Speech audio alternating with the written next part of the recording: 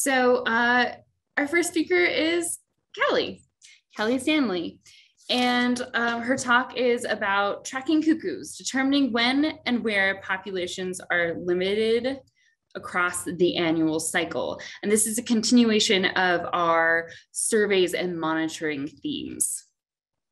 So yeah, um, this week's symposium is really kind of focused on the Western designated population segment of yellow-billed cuckoos.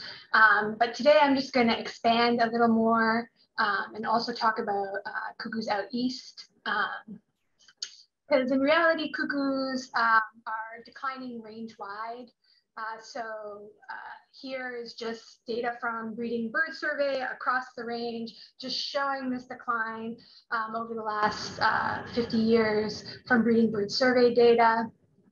Um, and if we kind of look at how these trends vary across the breeding range, most of the regions, as you can see, appear to be suffering from population declines. And that's shown with this BBS data um, with the areas that are red and orange. Um, but we do see that there are areas that appear to be stable or even increasing in population size, which is shown by these greens and yellow areas. And so I was really interested in um, why that might be and what about those regions are leading to more stable populations. And for so for this project that I've been working on uh, during my postdoc, we, uh, we have been hoping, we're hoping to identify what is driving these regional differences in population trends across uh, the breeding range.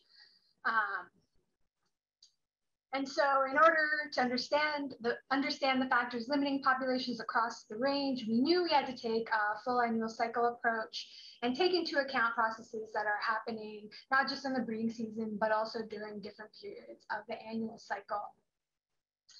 So to be able to do that, the first step we, was that we needed to understand patterns of migratory connectivity for yellow-billed cuckoos so that we could connect populations across periods of the annual cycle. Then once we were able to connect populations, we could begin investigating what factors might be driving differential population trends across the breeding range. And so today I'm really going to focus on the first goal, trying to understand patterns of migratory connectivity for yellow-billed cuckoos, uh, because that's the part we have gotten the most uh, done with so far. So this is a species range for yellow-billed cuckoos, which I'm sure most of you guys are familiar with. Um, they are thought to winter throughout most of, uh, they were thought to winter throughout most of South America, uh, east of the Andes. Uh, and in terms of migratory connectivity, we didn't really have much information for the species.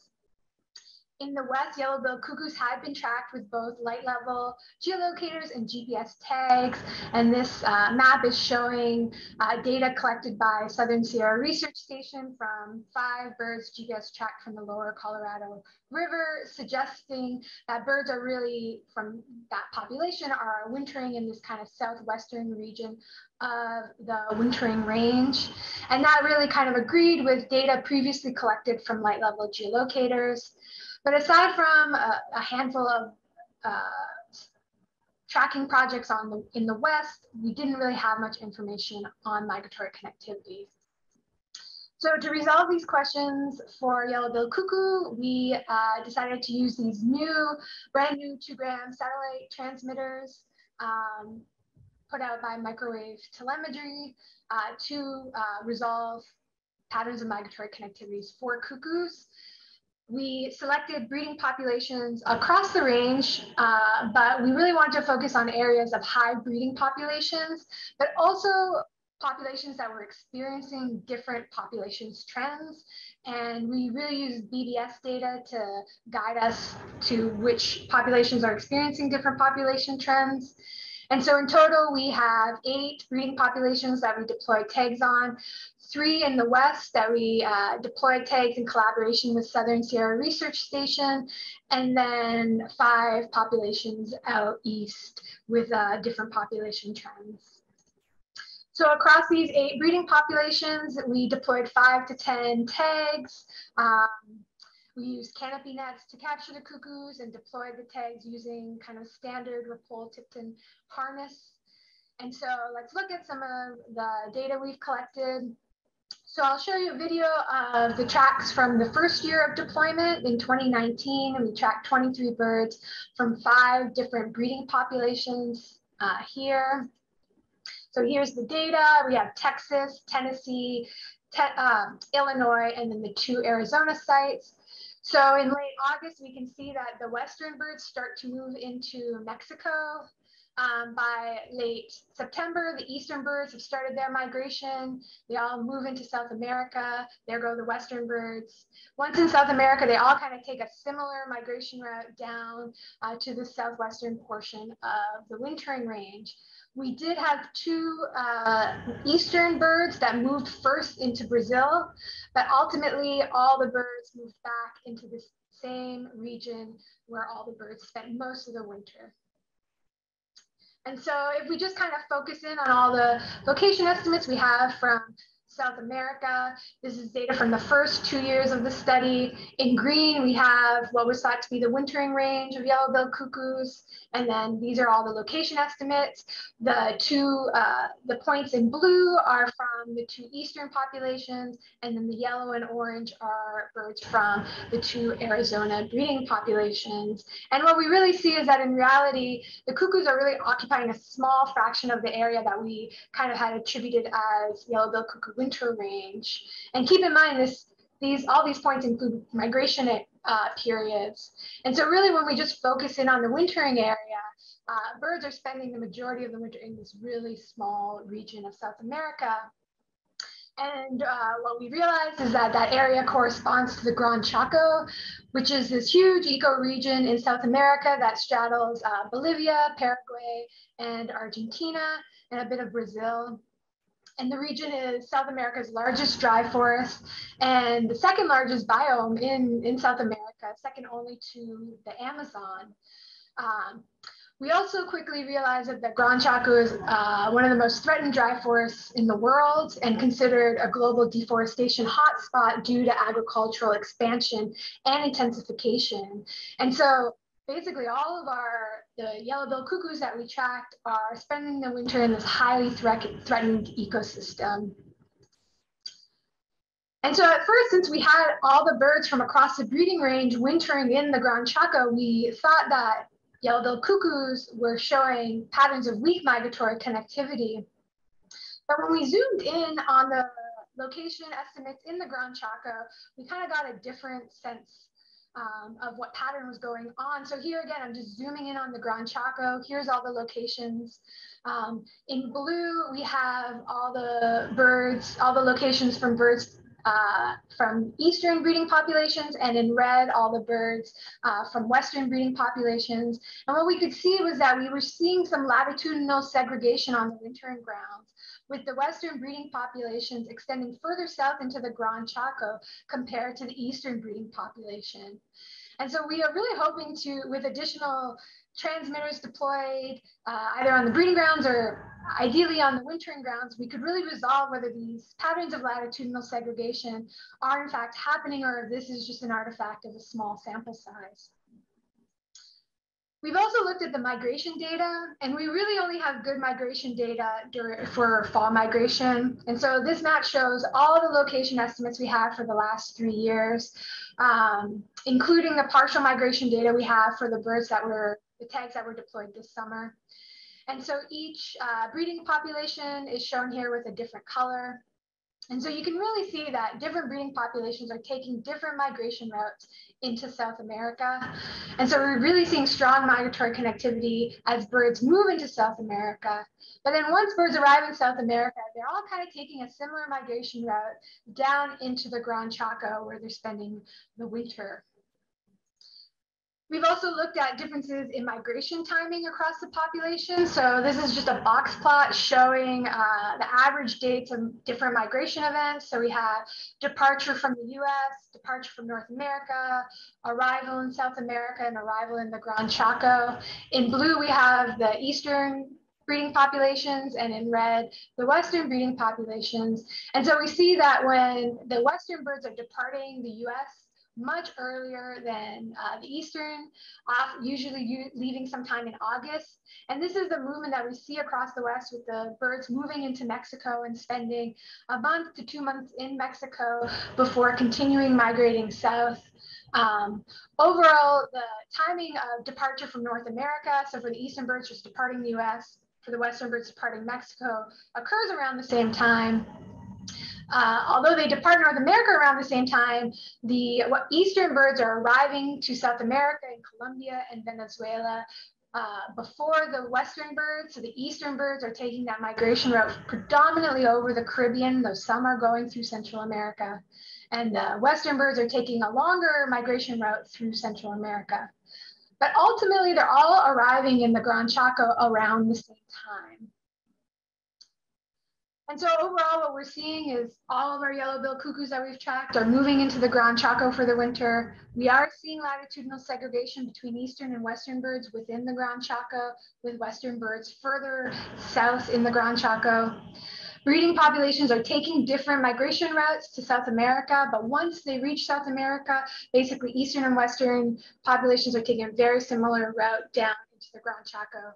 And we're seeing differences in both migration route, differences in the routes and the timing of migration between uh, breeding populations. And so with this information about migratory connectivity, we can now begin to link populations. And so what we're hoping to do next is link population trends to remotely sensed environmental conditions uh, from uh, the different breeding and non-breeding grounds. Out east, we are also hoping to use MAPS data to extract demographic information so that we could hopefully produce an integrated population model. Out west, we don't really have comparable demographic data. So what we're probably going to end up doing is taking different population modeling approaches between the eastern and western populations. And so just to conclude, I wanted to thank all the wonderful volunteers and technicians that have helped out on this population on this project, our wonderful collaborators at Southern Sierra Research Station, and then all of our funding sources. And um, that's it.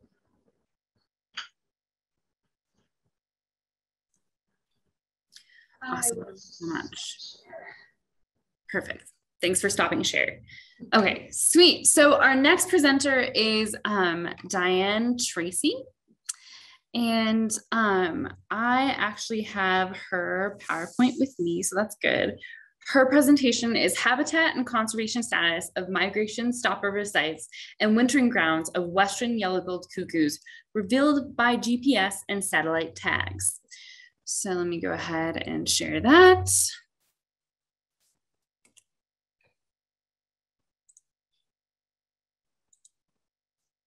Mm -hmm. Okay. Hi.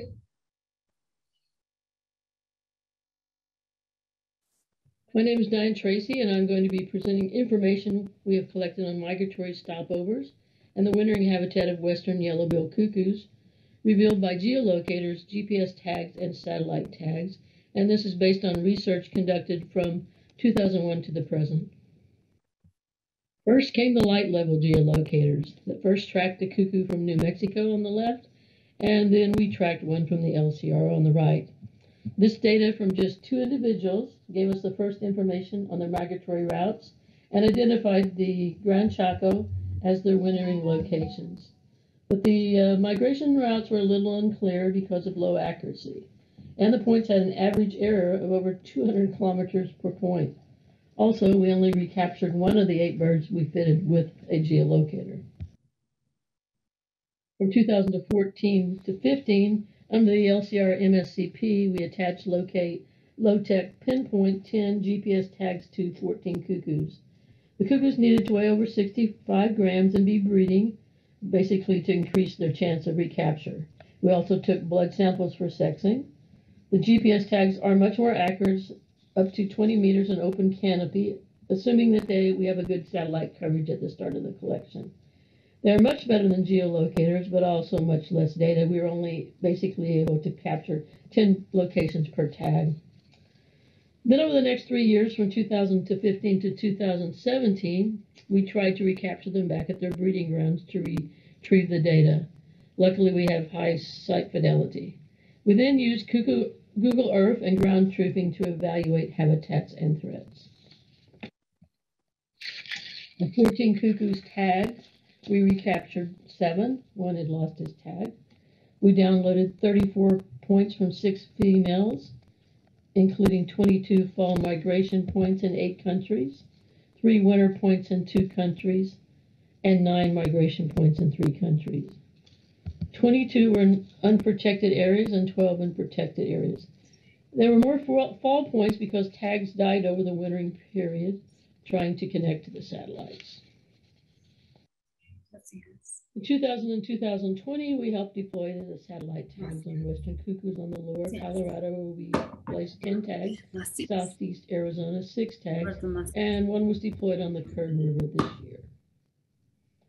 And this is a larger map of the southeast Arizona deployments with the red dots Yes, indicating our capture site. yes. I think Nick has pretty much described that habitat. From 2019 to 2021, we captured 39 cuckoos with 18 getting satellite tags. We capture about 50% male and female, uh, but we rarely get a male cuckoo that weighs over 65 grams. Again, this is our 2014 to 16 GPS resort.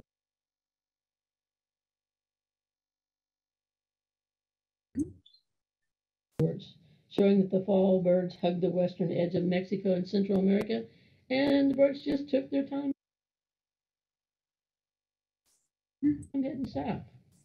With the spring points, the yellow points, the stopover slides more more inland. Now we have the 2019 and 2021 satellite tag data on the map. The migratory routes are very similar with the satellite birds stopping in many of the same areas as the GPS birds. And the ones that made it there are wintering in the dry Chaco forest.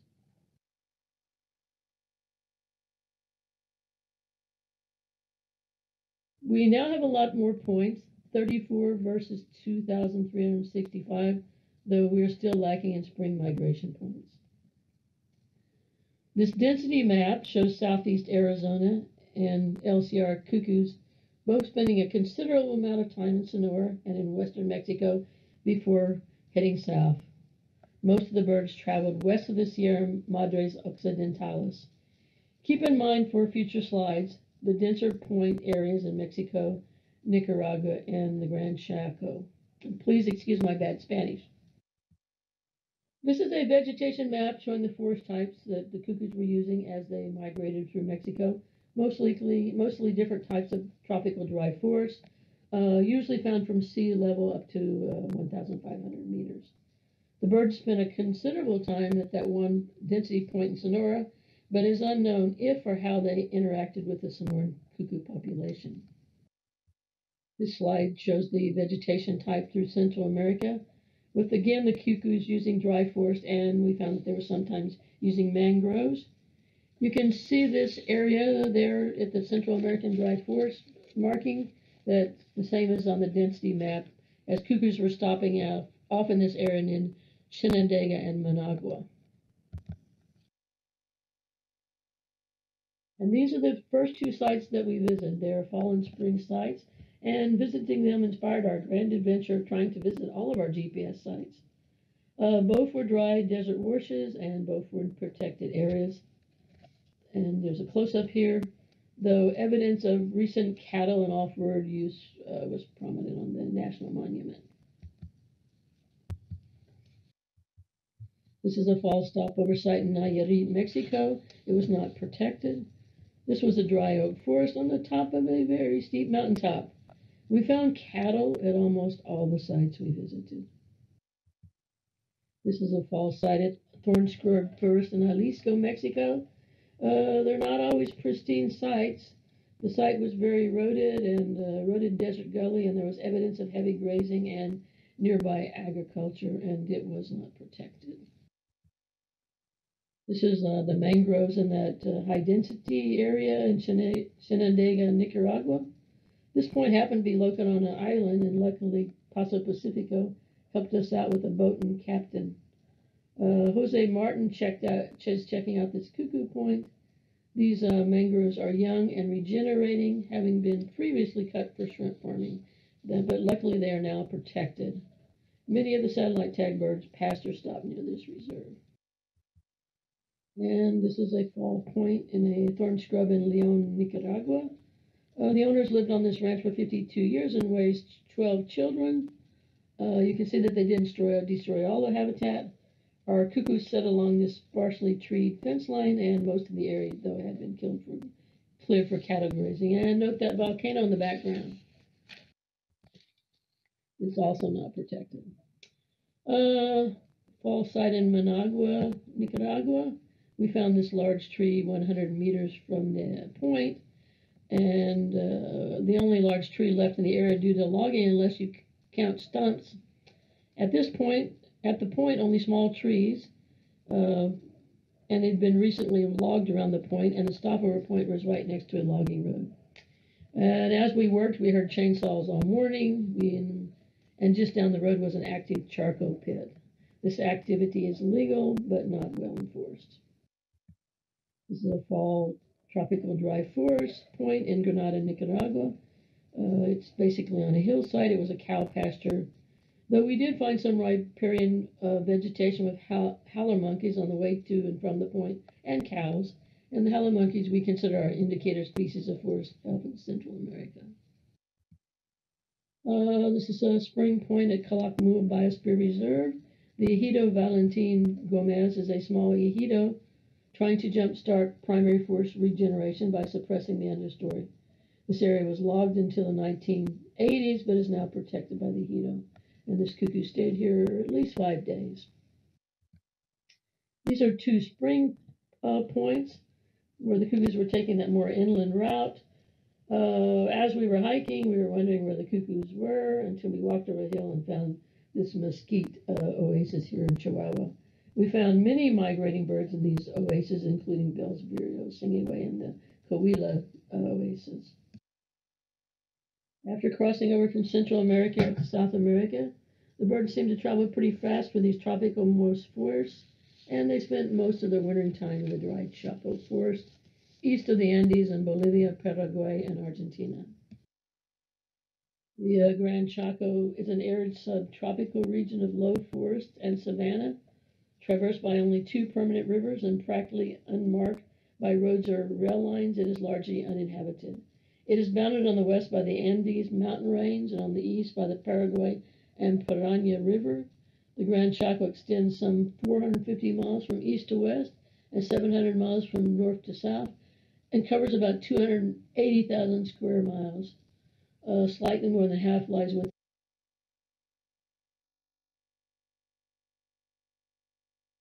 in Argentina, a third in Paraguay, and the remainder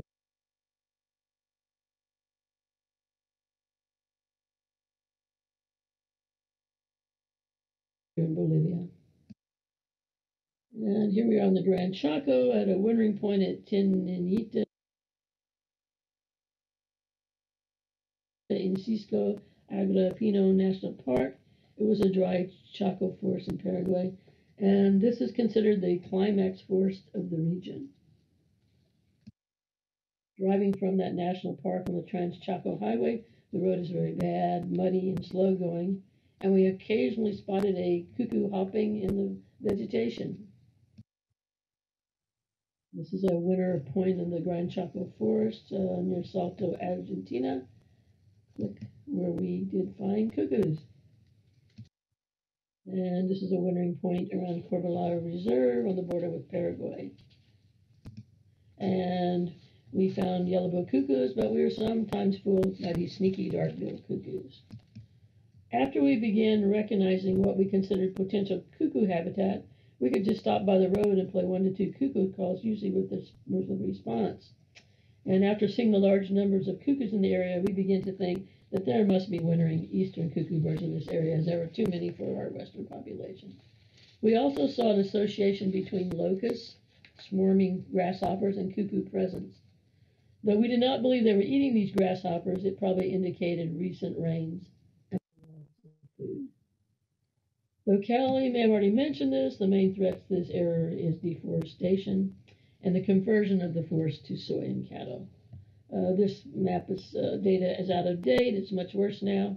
You can see the two of our winning birds were in the protected area and one was not, but the trouble is they move around a lot.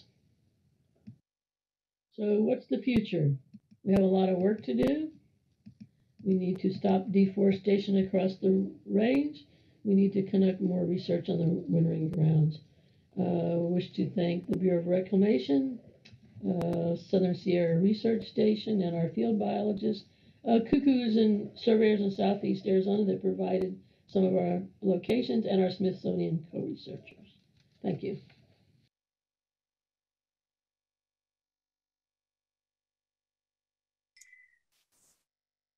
Awesome. Sorry if I was distracting everyone. I practice people's names uh, during these talks. I'm sorry. and also, I can't um, touch my computer when I'm playing someone's presentation. So for the next talk, we have Alberto, Alberto Macias Duarte with um, abundance and occupancy of the Western yellow-billed cuckoo in Sonora, Mexico. And you should be good to share.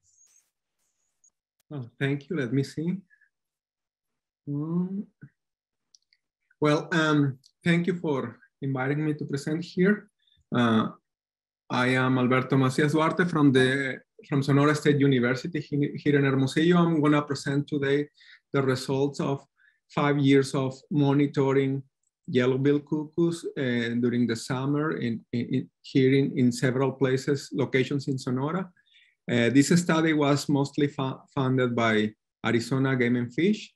And, and so I will start on, the, on, on my presentation. I cannot make it advance. Okay. Well, geographic variation in abundance throughout the uh, species range is ubiquitous uh, among species.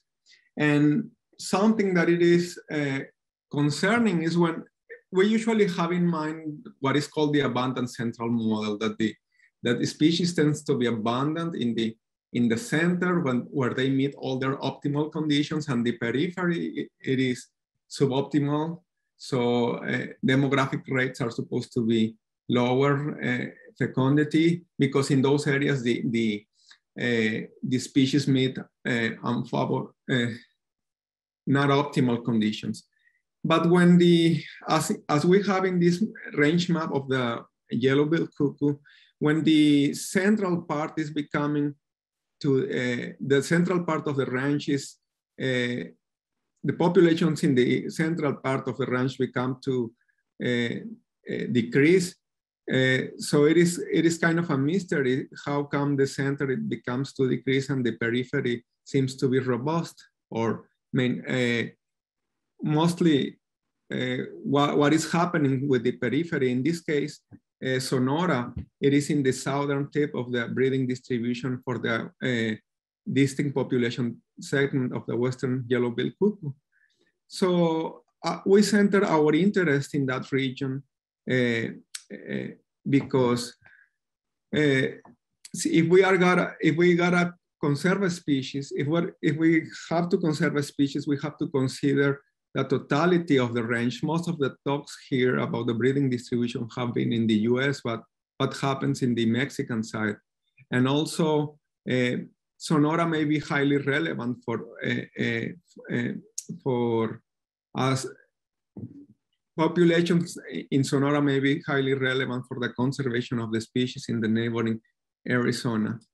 So with, there is not much information about the abundance of yellow-billed cuckoos uh, here in Sonora. Uh, and we, this study intended to, to increase a little bit the, the, the understanding of, of the population dynamics in this part of the breeding range. So we had a, as an objective to determine the status of yellow-billed cuckoo populations in Sonora estimate abundance and occupancy rates, and also determine the contribution of non-riparian habitats to the cuckoo's population dynamics. It is well, it is well known that yellow-billed cuckoos, as we have seen in this in other presentations, that not only occupy uh, riparian areas, but also uh, desert arroyos and other areas that, uh, and we certainly wanted to monitor those areas too. Because probably here in the southern tip of the breeding distribution, um, uh, yellow-billed cuckoos may be more tolerant to other conditions, to other ha habitat types. So what we did was to survey uh, 13 to 16 sites per year from 2015 to 2019, partially following the, the standard survey protocol. What is that partially? Well, because we only uh, conducted what is called the, the second and the third standard survey periods. So we, did, we, didn't, we didn't survey during the first period, uh, mostly because, because time and, and, and budget constraints. So we, had we had to decide uh, what to sample and we decided those two periods. Well, here in this, in this map, I'm showing a little bit some of the results, but those were the sites that we where we surveyed for, for yellow-billed cuckoos. The, uh, the circles in, in, in blue are riparian areas, in red desert arroyos areas, in upland habitat, the, the black circles. And we, we mostly cover what, what, what is, what is um, from, uh, from the coastal plain towards the mountain. We don't cover not, not we don't cover any site in in northwestern Sonora where the Colorado River is. So uh, we, we conducted surveys in riparian habitat. What, what this is cl the classic riparian uh, habitat in the Southwest, cotton, uh, cottonwoods, willows, and mesquite as, as the three component in perennial water with perennial water. We also had the, we, another type of habitat where we survey were desert arroyos. These are well, intermittent uh, creeks uh, uh, with a bosky forest, mostly, mostly dominated by um, desert ironwood, mesquite, acacia species. Um, they don't have perennial water uh, most of, of the year. And and and well, I like this this photograph because it shows uh, the the uh, a yellow-billed cuckoo during during this period this period in in in in a desert arroyo habitat with species that are not found in the in the U.S. Mostly some guayacan and and and and, and some kind of palo some other species of palo verde but it shows, uh, for me, this shows the, the variety of habitats where the species may be breeding. We also, we and the third kind of habitat where we survey for, for yellow-billed cuckoos were upland habitat basically is foothills or uh, mountainous terrain with uh, open, open forest, mostly oak, although in some sites we have a tropical deciduous forest in one side. And we followed, uh, uh, concerning the, the way we, we carried out the, the, the sampling, it was just like the protocol. We, we started before sunrise and, and continued uh, surveying until 11, or it was until temperature reached 40 Celsius degrees. Sometimes we had to, to, do, uh, to start, sorry, to, to finish uh, earlier because security con concerns of also yeah the, the access to the land. Uh, we we in an initial broadcast point we either detected or elicited the yellow-billed cuckoo response uh, using uh, contact contact and, call calls spaced one minute minute apart. Again, if no bird was detected, we moved one, one meter in the direction of the river of the path set for the new broadcast point. For especially for some upland habitats, we may not have a river or, or a drainage. So we, but we had a defined, a predefined route what to follow. And if we detected a cuckoo, uh, we just place the other point 300 meters away. The way we analyze this data set that we collected uh, using a Bayesian hierarchical model to estimate occupancy in this way, occupancy is defined as the probability that the cuckoo is present at, at a broadcast point. So it is at, at the low, at the lowest, at the finest scale. And we, and we use a program open, OpenBUGS to estimate model parameters. And what was the, what, what was the, how the, we build the model? Basically the state process, the process of, of occupancy, we, we, whether, whether a bird, sorry, whether a, a cuckoo was present of, of uh, absent in a, in a survey point, we model it as a Bernoulli random variable and uh, with parameter occupancy, C, letter C, and occupancy dependent, uh, we built as a, as a, as a response uh, to latitude, longitude, elevation, date, uh, temperature, rain, and habitat type, and some interactions. So basically, those variables were candidates to for a model to, to determine occupancy. And, and about the, the observation process, well, whether a, a bird was detected or not, also was modeled as a Bernoulli random variable, i.e. whether the, yeah, this, the, the cuckoos were, were detected or not depended on, on, on whether the species was present and whether and its detection probability. And detection probability, we model it as a uh, as a function of time uh, to, to determine temporal trends, daily trends in, in detection uh, during the surveys. Well, uh, our results for this uh, uh, for these surveys were that we had, following the standard protocol, we had a count of nine cuckoos per transect, an overall an overall mean. But we saw some variation in this plot. We can see in the x-axis the uh, year, and and we can see that in every in every year sites had to. Uh, we can see that the the two the two surveys per year, and also uh, the same sites were uh, look uh, the same sites are linked by that by, by a line so we can see in the first in the first year we only sampled riparian sites, and we can also see this the trend, decreasing trend in in uh, from the second and the third uh, survey periods.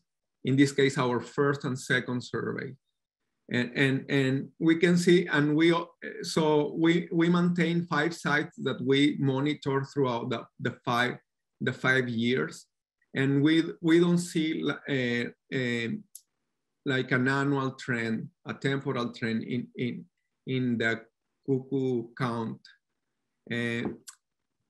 So um, from 2000, starting in 2016, we included other other sites because precisely we wanted to to know what how occupancy behaved in other types of habitat.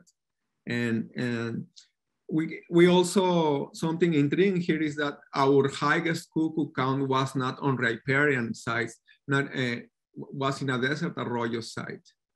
And, and well, and, and that was like that. Yes, I, I personally was in that, in that, in that count. So it was, they weren't my field technicians. So yeah. And uh, so we, we don't, the overall occupancy rate from the model is that uh, there's a 54% uh, probability that a broadcast point is going to be occupied by a, a, by a um, yellow-billed cuckoo in all habitats that uh, where we where we uh, survey. And the, from all the models possible for for for occupancy, well, we found that longitude, latitude, elevation, and date were, were variables that had an, a real effect on occupancy. Surprisingly, habitat type was not a, a variable that determined yellow-billed cuckoo occupancy. And this was counterintuitive. We thought that the riparian areas were going to have higher occupancy rates, but yeah, uh, habitat type was not in, in the best model and it was in, even in other models, it was not a significant factor. Uh, and here we are, we are attempting to, we attempt to, to model the, the geographic variation in, in occupancy. So we have in circles, each, each, each survey site, it is shown in circles. The area of each circle is proportional to the occupancy rate and, and, and the lines are a, are a heat map for, for, for occupancy. So we can see that there is a gradient in some, uh, just like elevational grade, uh, the elevational gradient, we have an, a gradient from west to east on yellow-billed cuckoo occupancy. So, and this map uh, has to be interpreted as what would be the occupancy provided there, are, there is enough uh, um, tree cover. So we, we don't mean in this exercise that every site, for example, on the Yaqui River uh, basin is gonna be high, is gonna be higher. But if it has uh, if it has um, tree cover, it will it, yeah it will have a, a, high occupancy rate. And, and and we also were surprised that some some sites uh, near the uh, in very in, in very arid in the more more in the driest part of the of the of the uh, Sonora plain were also had also yellow-billed cuckoos. We see a, the seasonal variation in, in occupancy, while we as as the other presentations uh, uh, in agreement with the other presentations, we see a, a, a decrease in occupancy from, er, from late June to mid August. That was the period where our surveys, uh, when our surveys took place. We see a, a consistent decline. Uh, the date was a, a, significant variable in our occupancy model. And this is additional data. So we also see that there is a decline in detection probability. So uh, detection probabilities uh, range from almost 25% to 10% from 6 to a.m. to 11 a.m. So, uh, and, and as conclusions, we can conclude from this study that the, the yellow-billed cuckoo population in Sonora seems robust. They occupy diverse kind of habitats. They seem tolerant to, to, uh, to have, to more tolerant to habitat requirements. They even are in the most arid part of the, of the state. Uh, uh, but we also have the caveat that, that we didn't, we didn't uh, survey for nest. So we, uh, however, we had evidence of nesting, uh, not in this study, but we have seen yellow-billed cuckoo nesting in, in desert arroyos here, and also we saw pairs copulating. So, and so we, we, that makes us think about, so if, if, there is not much difference between riparian areas and other kind of habitats, probably the, the, uh, the contribution of, of non, non-riparian uh, uh, habitats is significant to maintaining populations of yellow-billed cuckoos in Sonora. But we don't have to forget that all tree cover is, in, is, is imperiled here in, in Sonora, even desert arroyos or wherever, uh, I mean, riparian areas, everything it is under, um, it is being decimated by agriculture, agriculture, urbanization, uh, water pumping, etc. So it doesn't mean that even if, if the non-riparian areas are significant, it doesn't mean that the, the yellow-billed cuckoos there are not threatened. And well, be, before I, I, I, finish my presentation, I also would like to, to, to thank uh, the uh, my field technicians and the students student volunteers that uh, uh, conducted the surveys, and also Edwin Juarez from from Arizona Game and Fish Department, who was instrumental for the funding of this of this um, project. Thank you. Thank you. So I'm going to, okay, so we'll, we're going to get to questions in um, right after Edwin's talk. So Edwin is our last presenter for the day. And um, Edwin Juarez, sorry. And he will be speaking about the Western Yellow-billed Cuckoo Range-Wide Occupancy Assessment Project. So Edwin, you should be able to share. Uh, well, um, I'm glad I'm glad to be the last person of the day, so we can quickly jump into some discussion if there's uh, time for that. Um, uh, this presentation, we're not presenting any results. Is actually we wanted to talk about a project that we have been collaborating, um, putting together with multiple partners across the DPS of uh, Yellow-bill Cuckoo. Uh, are you hearing me well right now? Yes. Yes. Okay, perfect. And so I'm yes. briefly gonna, uh, thank you. I'm briefly gonna outline um, the project, the objectives, uh, the different roles of the states and other partners participating, a timeline of the project. And, um, and so this is a collaboration uh, that involves states from the Pacific Flyway. They have uh, cuckoos um, you know, within the range of the cuckoos, uh, also uh, Texas Parks Wildlife and other NGO partners um, listed here, and also with funding from the Fish and Wildlife Service to the Competitive C-SWG uh, program. Next slide, please.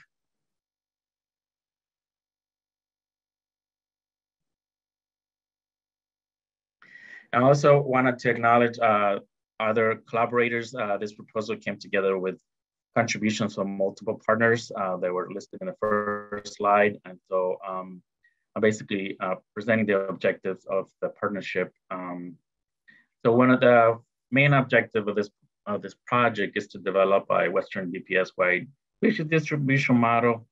And this distribution model will be used to um, help us define the define the study area to implement a statewide, a range-wide survey to gather data on cuckoos and also to estimate occupancy across the DPS. And then uh, another objective is to assess the probability and evaluate the effectiveness of ARUs as an alternate survey method, um, kind of similarly to the work that Nick presented earlier and uh, I think another presenter.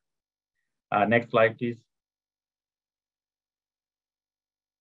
And so just diving in a little bit, this is uh, this presentation is really just an overview to kind of bring everyone up, um, make everyone aware of the project and um, present some of the objectives and timelines for the work.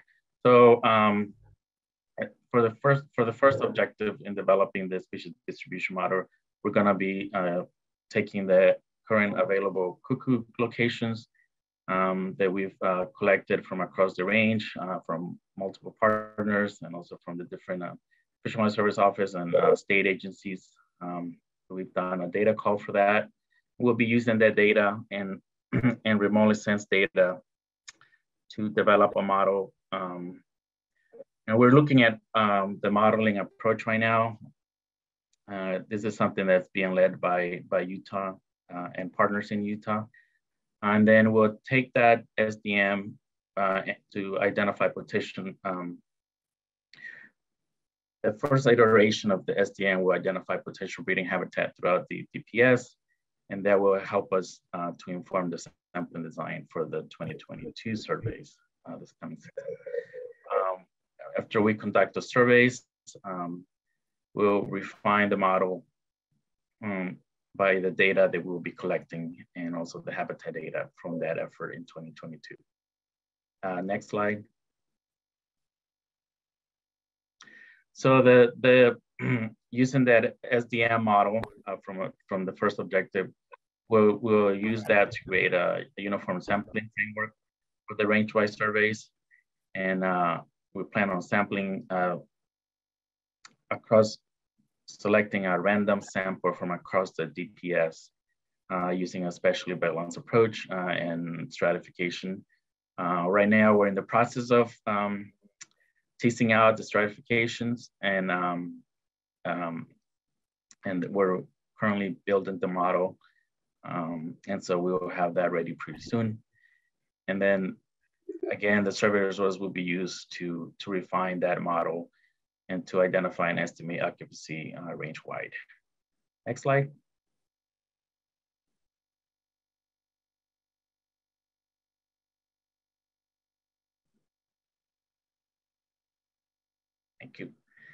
And again, um, this is a, an objective that the, the third objective of the proposal is we'll be doing a ARU study to assess the detection probability and evaluate, evaluate the effectiveness of using this unit as an alternate, alternate survey method, which know, based on some of the work that Nick presented, um, it seems very promising.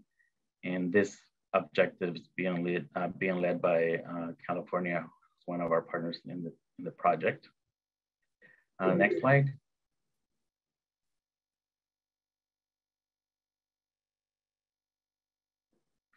So um, just to kind of lay out a little bit of how the, the project is organized, uh, Utah uh, has the lead on um, helping us build the model for the, the study design, for selecting our, our sampling effort. Uh, California is, uh, has the lead on the ARU, ARU objective. And then all the states and NGO partners are collaborating and will be collaborating on implementing the range-wide surveys with Arizona and SSRS uh, conducting surveys in Arizona and collaborating with uh, several of the other states to implement the surveys in those states. Um, you can see here, uh, Utah will be facilitating surveys in, in, their, in their region and, um, and so forth. And so this is a multi-state, multi-partnership uh, collaborative effort. We also have uh, three other states that are part of the flyway they will be um, they're not part of the C-SWG proposal, but they're they're part of the project in terms of um, conducting surveys um, to coincide with, with this project. Uh, next slide.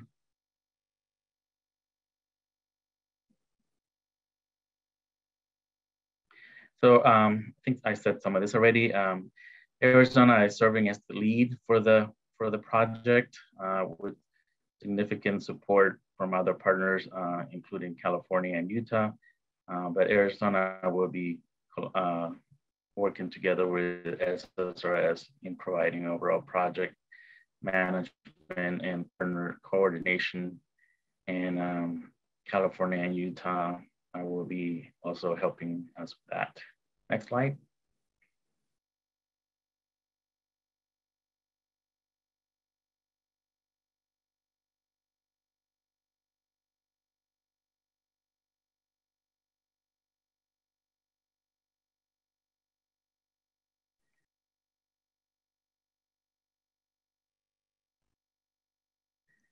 Uh, okay, I'm back. I think I got kicked out. Um, thanks, Ross, for clarifying that. Uh, this is just to kind of give folks a sense of the timeline for the project. Uh, like I said earlier, right now we we did a data call from states and other partners to build the model. We're work, we're in the process of building the model right now. Uh, we'll be conducting surveys this coming uh, this coming breeding season, and then with the products and outputs in 2023, 2024. Uh, next slide.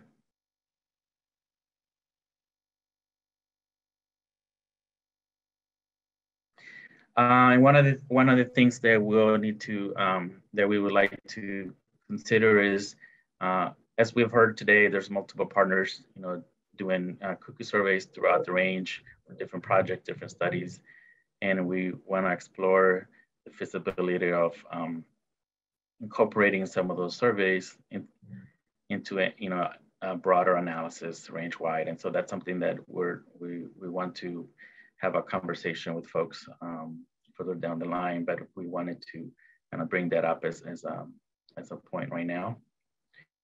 Next slide.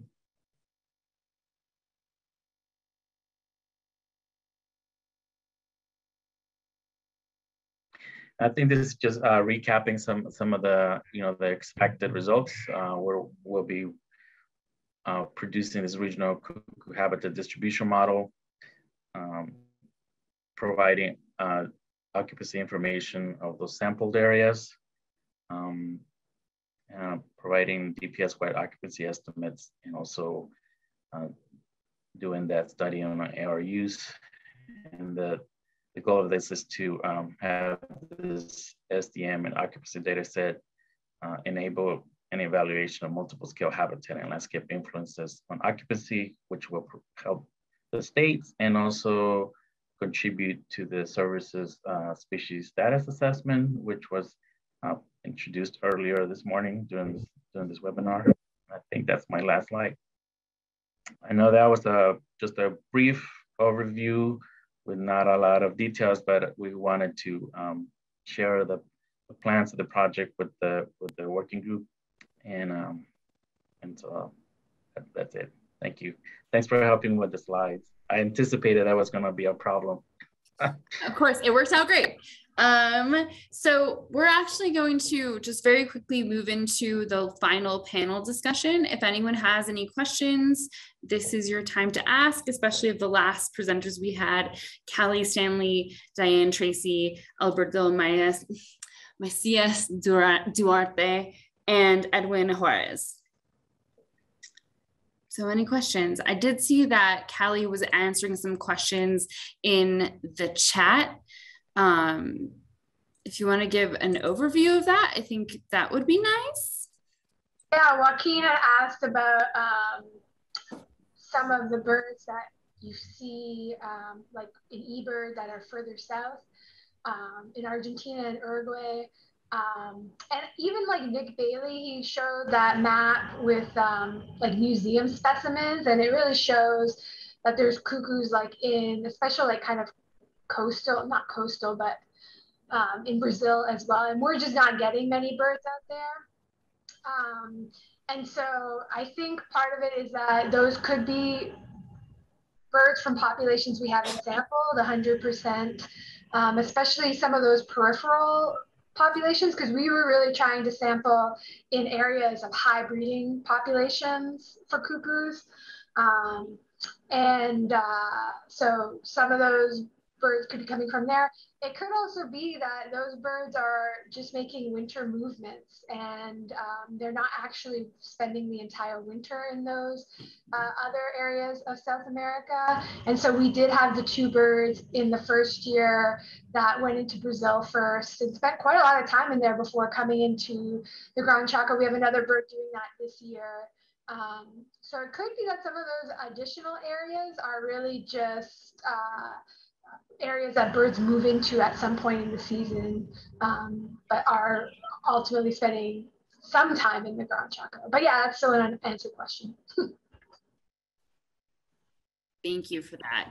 Um, so we do have a question for Alberto. Um, thank you for your excellent presentation is what they say first. And then do you have any ideas about why habitat might not have been a significant predictor um, of your yellow-billed cuckoo occupancy? Well, yes, uh, the, there are several possibilities. The, the one is that there is a large variation within. There was a large variation within the uh, within the, the, the number of detections within each habitat type.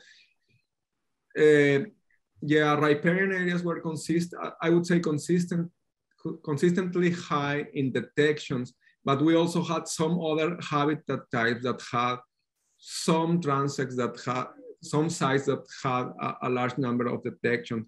Also, this, this study, unfortunately, is not uh, it's a, doesn't have a balanced design. So, so, we, we don't have like the same number of, of habitats per year sampled. So there may be some, some, some uh, this, the sampling may, may have affected a little bit our ability to, to, to get better inferences. And, uh, and also then, then the, the model may need to be improved a little bit in the, in the, in the way we, in the way we define the processes for both for detection and both for and, and for occupancy. So, uh, so yeah, yeah, I'm also intrigued for that in for that question too. But that that was what the analysis uh, uh, gave us. Got it. Thank you very much. Okay, and then um, just there's one more question, and I'll shoot it to Kelly, but I just want to make sure that. Okay, there's a couple more, but just for the essence of time, I know that we said we would end at 4:30. If people want to stay on for um, a couple more questions, that's fine with me. Um, I can hang out. But um, just to sum up, thank you so much to all of our presenters for presenting your content today. Um, it was pretty amazing, very, very interesting for me, a novice in all of this. Um, and also thank you to everyone that tuned in. Thank you to all the organizers of this meeting. You did a great job. It's very, very organized. Um, for tomorrow, day two is from 9 a.m. to 2 p.m. That's mountain time. We do have a Padlet link that we shared, and I can share again in the chat a little bit earlier. And that link is just to start collecting ideas and generating thoughts about um, for for the purpose of this of this workshop and meeting. So I will share that again in the chat. And if you have any questions, it's a really easy platform to use. It's very, it's very easy. If you have any questions, if you run into any problems, email Jenna. She decided she was the point person for that. So I'm gonna put this in the chat right now. There we go. There's the Padlet link. And so for the two questions that just came in, everyone said lots of thank yous and I have lost the questions. so um, Callie, have you been able to make any links between those green increasing populations and wintering grounds versus the declining pop populations? So we haven't started that analysis yet. Um, in terms of the wintering populations, it does seem like in terms of the eastern, they're all kind of mixing um, in the Gran Chaco. I, I, did talk about how the eastern and the western seem to be segregating. So it might be interesting to see if some of the differences in population trends between eastern and western could be explained by different processes happening in the Gran Chaco. Um, one of the big challenges that I, we still haven't really figured out how to deal with is that um, cuckoos just move a lot. And on the breeding grounds, they're moving constantly, especially in the east. And so, like, you know, we see that the Western populations we've worked with, the birds, you know, starting in July, start moving into Mexico. So they're not even spending like a full breeding season necessarily at the same site.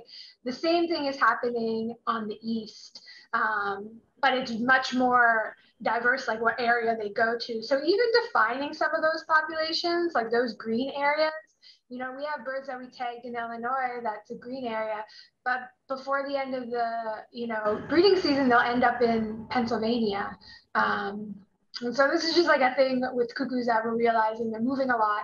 Same thing goes in the Gran Chaco. I didn't discuss this, but even in the Gran Chaco, the birds are constantly moving. Um, and these movements are like hundreds to 200 kilometers uh, between sites. So yeah, it's a species that, yeah, we're still figuring out how to handle all that. They get around. That's cool. Okay, so this um, is directed to Edwin, Russ, and others. I'm really excited for the C-SWG funded coordinated survey next year. Two follow ups. One, any chance of having Alberto and colleagues also survey some of their long running sites? And they say four plus years of prior data in the Sonora simultaneously. That's like I think for Sonora, the challenge is that the modeling approach doesn't extend into Mexico because of the differences in the vegetation layers available. They're, they don't, uh, they're not the same cross borders. And so we would not be able to develop a, a sampling framework that encompasses Mexico. So that, that's part of the challenge. I think in terms of doing multiple years as part of a additional C-SWG project. I think that's something that the partnership has discussed, and it's something that we will be open to pursuing. I think um, based on you know the outcomes from our uh, this first uh, run at surveys range wide. I don't know if Russ or anyone else from the partnership would like to add something. Oh, I'll just speak in briefly. This is Russ Norvell in Salt Lake City. Hey, um, would love to we'd love to coordinate or help coordinate more work across meaningful parts of the range. This particular funding source is um, limited to a U.S. perspective, unfortunately, but that's um, how it starts anyway. And some of the data layers we're currently working with are not available in, in Mexico, which is also a problem. So it would be those are those are issues, those are those are problems to solve, not not dilemmas that we have to live with. Uh, look, we'd like to look forward to doing something more collaborative going forward, and perhaps we just need to look for a, more diverse funding source to do that.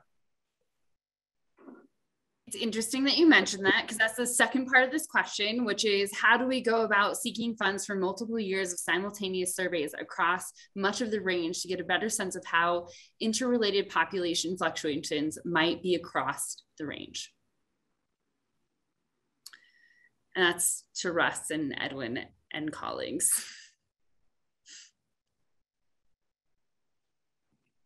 Yeah, take it, Edwin, or should I? Go ahead, Russ. My connection is pretty crappy. Okay.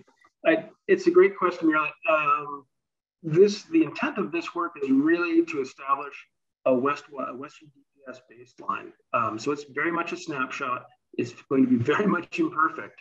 Um, it is a step towards something that we hope is all we all will be find useful. Um, and that's is really, I guess, the best defense I can I can go for. It, it will, I'm sure, fall short of many of our goals, uh, many of our intents, but it's uh, it's a it will be we hope a good start, uh, a good baseline for us all to work from, and to ask more regional questions as well.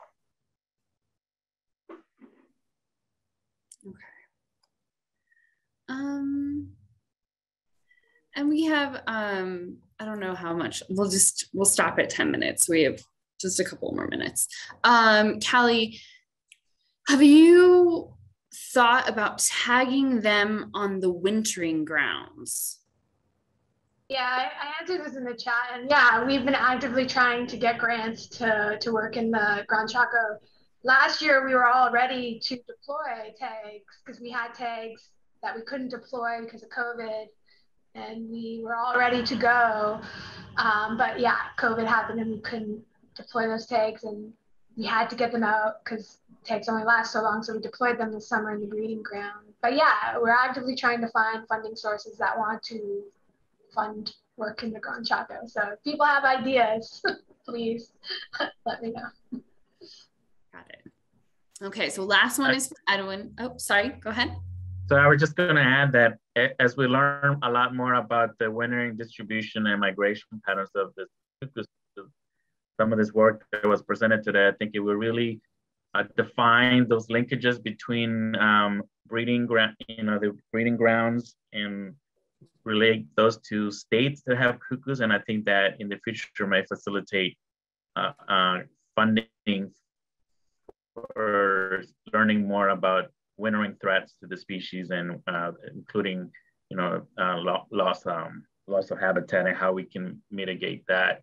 And I think working through Southern Wings and uh, also uh, the NMBCA program of Fish and Service might be another vehicle where we can be have targeted approaches to addressing those wintering needs as we learn more about especially where they're wintering and the specific locations and when they arrive. You know, a, a lot of this information that was presented today is, is really helpful and uh, I think be instrumental in in um, directing, in my mind, some additional funding for work in the wintering grounds. Okay, so this last question is for you again, Edwin. Um, do you consider when determining how you will make adjustments to surveys in 2023, the huge population fluctuations that can occur between years is a, at a given site seen in several areas like Bill Williams, NWR, Kern, and Sacramento rivers. So do you take um, those into account? Do you just adjust for those? I think Russ kind of answered this a little bit earlier, where you know we recognize that this is kind of a snapshot picture of this one survey effort, and that there's going to be limitations to to uh, because of that. But I think uh, we we see this as, as providing a baseline, uh, and that we you know we would look to see how we can address those realities in a, in a follow-up survey or, or a, a additional work in the future. Okay, awesome. Thank you. I think that answers that question. Sweet. Thank you again to all of our presenters today. And we'll see everyone bright and early tomorrow morning. Kristen, I had a question. This is Jenna. I was wondering, will there be a new link set sent out for tomorrow for like day two, or do we use the same link? We can use we can use the same link. I hope that I'm not just like shooting myself in the foot right now, but yes, we should be able okay. to use the same link. Great, thank um, you. Yeah, of course. Everyone have a good night.